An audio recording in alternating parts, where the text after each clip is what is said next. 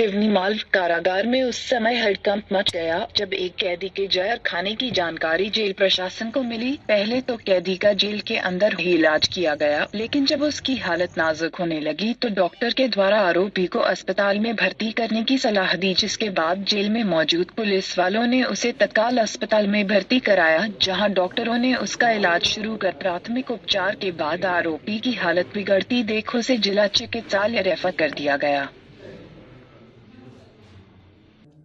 मैं मुलजिम तो ये जित्तू उर्फ़ जल्लाद है, पिता का नाम लक्ष्मी नारायण है। और ये विभिन्न प्रकरणों में जेल में बंद होता रहता है। दो तीन बार ये, दो दो साल, तीन तीन साल की सजा भी चोरी के प्रकरणों में काट चुका है। ये धारा तीन सौ उन्यासी में चौदह ग्यारह दो हज़ार सत्रह को जेल में बंद हुआ है। इसके इस प्रकरण में माननीय न्यायालय द्वारा जमानत भी दे दी गई है। किंतु इसके परिजनों द्वारा जमानत ना भरवाने से ये क्षुब्ध था।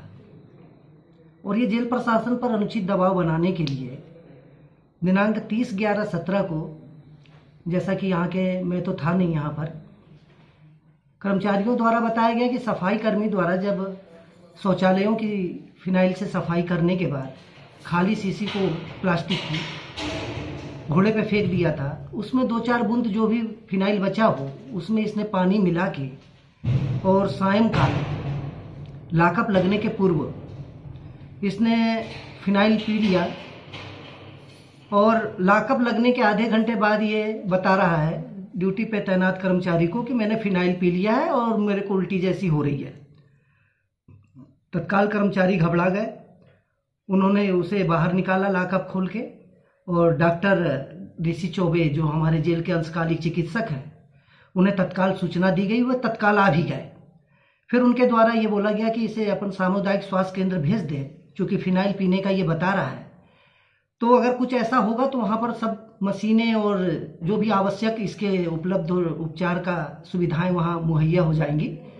तो तत्काल इसे जेल बल के द्वारा सामुदायिक स्वास्थ्य केंद्र सिवनी मालवा भेजा गया, जहाँ पर इसका उपचार किया जा रहा था। मुलजिम जेल पर ये इसका एक अनुचित दबाव बनाने का प्रयास इसने किया। ना ही इसके साथ किसी प्रकार की कोई हिंसक घटनाएँ घटी, ना ही कुछ। और ये इससे पूर्व में भी, पुलिस कस्टडी में भी इसने अपने शरीर पर कई गंभीर चोटें मारी हैं ताकि इसके ऊपर क्राइम केस मतलब क्रिमिनल केसें दायर ना कर सके पुलिस। तो इस प्रकार के इसके कृत्य हैं।